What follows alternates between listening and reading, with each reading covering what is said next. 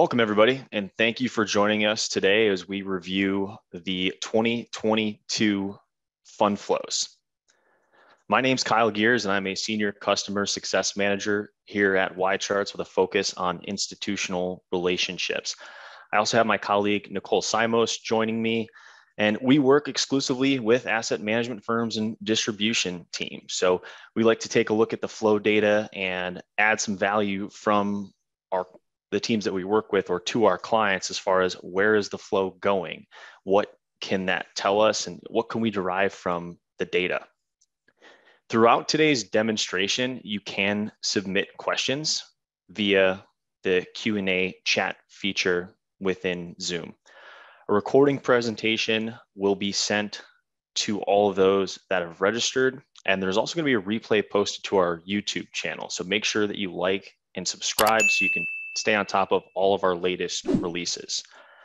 For all the folks who are YCharts professional clients, you can find a copy of the deck that we're going to go through today within the website by going to the support section, resources, and fund flow reports. So you'll basically see the reports, the traditional fund flow reports, as well as any additional content that we post, such as the presentation deck. Let's go ahead and jump into things by setting the scene for 2022. So, a lot happened within the calendar year.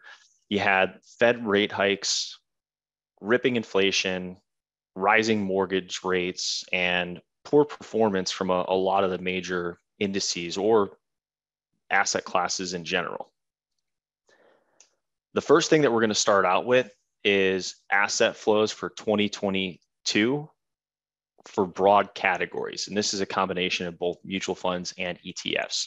A couple things to point out here. So we're looking at this graphic on the left-hand side. Alts made a return. They were number one in terms of net inflows for 2022. And they actually held their own and did well for those who had alternative allocations to the portfolio. We also saw miscellaneous with net inflows, quite a few more than all the other categories. And you might be thinking, what is miscellaneous? That's going to be a lot of the leveraged ETFs, uh, a lot of things that you know, aren't traditional asset classes, uh, digital assets as well are included in that number.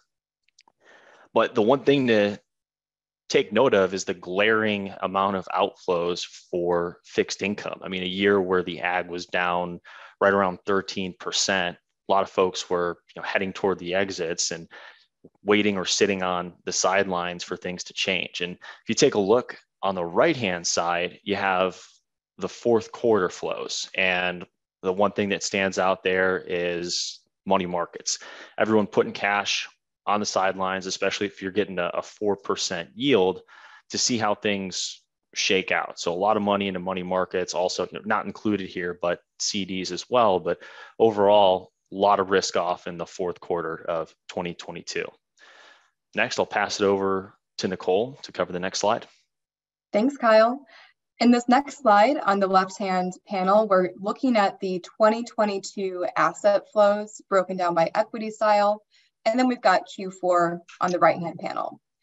US equity funds remained relatively resilient, as we can see here in 2022, despite overall poor market returns. This was largely due to positive flows into large blend, as we can see on the left-hand panel. That's the uh, dark blue bar uh, representing about $124 billion of inflows. And this was, uh, it was offsetting outflows from other categories, except for both large value and mid-cap blend, which both saw substantial inflows. It's also worth noting that investors saw positive outcomes primarily from value oriented funds across the year, evident by examining that the flows into value far outweighed the flows into growth exposures in 2022. Overall, Q4 reflected similar trends across equities as we saw throughout the year. So, taking a look at that chart on the right hand side of the screen, the only exceptions here were large value, which took a dive of $4.2 billion in outflows, detracting from its overall strong performance in 2022. and small value and small blend, which both saw minimal inflows in Q4. And I'll go ahead and pass it back to Kyle. Next, we're going to break down flows on the equity side between both mutual funds and ETFs. So we're going to split this out. And this has been a common theme that we've seen almost every month across our fund flow reports is you're seeing a lot of outflows from funds and ETFs continue to garner assets. Now, if we're looking at 2022 as a whole, you know, somewhat of a common theme here, large blend leading the way just due to the environment, a lot of assets going into large blend. Yeah, especially a lot of a lot of dividend based strategies. So dividend and value were two key areas where assets were moving into throughout the year as a whole. And large caps continue to significantly outpace mid caps and small caps.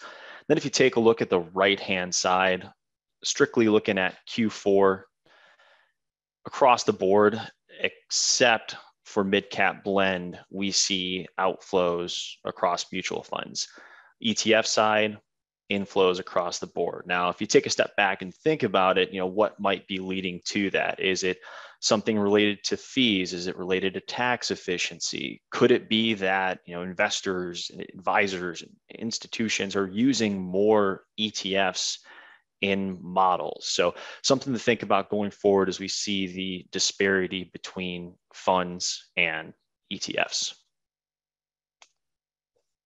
Absolutely, Kyle. Great points there.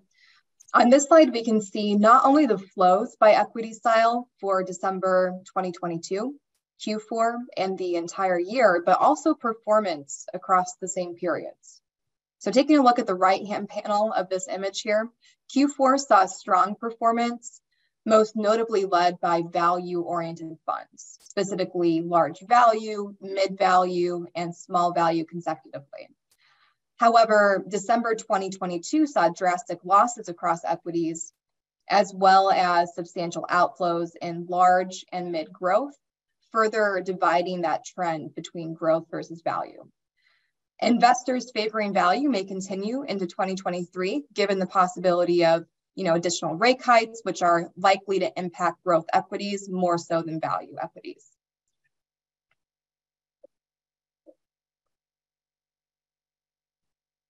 Next, we're taking a look at the sector breakdown for flows. And honestly, it'd be exactly as you would expect given the environment. What the flows are telling us is that a lot of investors are preparing for a recession. So historically, sectors like consumer defensive and utilities, healthcare, energy, all tend to do fairly well during recessionary periods. You see massive outflows out of tech, real estate, financials, interestingly enough, and not so within the fourth quarter, but 2022 communications as well. And you're talking sectors that have gotten hit the hardest over 2022 communications and technology. If you look toward the right hand side, we see consistency with those flows. 22 and Q4 of 22, you have a lot of similarities there in terms of where the money is actually going. As mentioned, it looks like investors are anticipating or believe that we are currently in a recession. In this next slide, we're going to be looking at fixed income flows across both mutual funds and ETFs. So again, on that left panel, we are looking at the entire year of 2022. On the right side, we've got Q4. In 2022, investors were attracted to the longer end of the yield curve across government and diversified bond funds.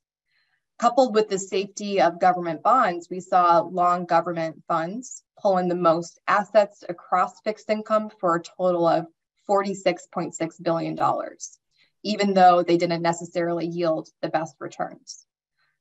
On the flip side, short term bonds, which contain a mixed bag of credit qualities, saw the greatest outflows at $69.5 billion, indicating that investors may have moved funds from short term bonds into money markets or CDs. Also notable was the movement from core plus to core bond funds. Because of the greater risk and lower quality in core plus bond funds, investors seem to gravitate towards core bonds because of the general higher quality. With rising rates, investors ex- exited uh, core plus bond funds rather aggressively throughout 2022, resulting in $39.7 billion of outflows.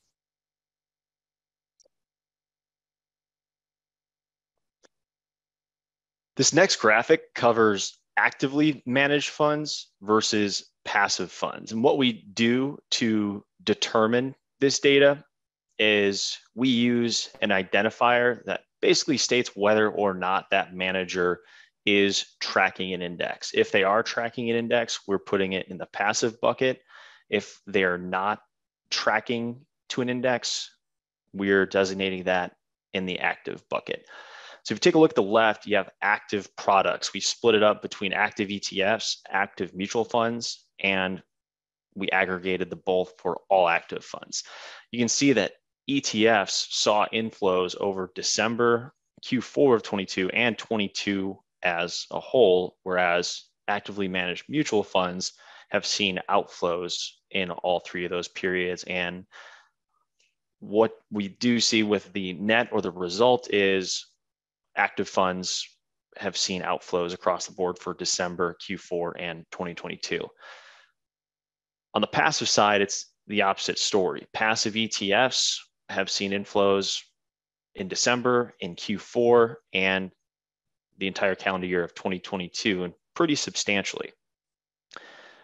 As far as passive funds go, the only blip there is there was outflow uh, from passive funds in Q4 of 22. And across the board, passive funds have gained quite a few assets over those three time periods.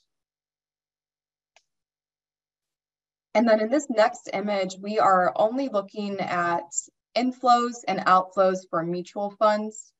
So up top, we're going to give you the top categories that saw the greatest inflows. On the bottom, we'll do the same, but for outflows. It was a very interesting year for mutual funds, which suffered their first calendar year of outflows in decades. In Q4, inflows for mutual funds were really concentrated primarily in money market funds, intermediate core bonds, and retirement target date funds. More than any other investment strategies, target date funds have the diversity and consistent upward movement to make investors feel more comfortable in any kind of market, especially including one that is challenged by inflation and a looming recession, both of which were themes in 2022, especially as we moved closer to Q4.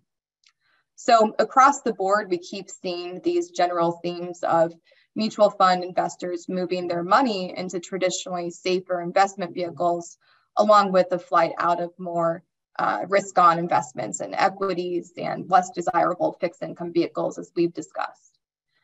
As we continue along in this down market, investors may be moving more than usual, and I'm sure we'll gain some valuable insight across the next few months.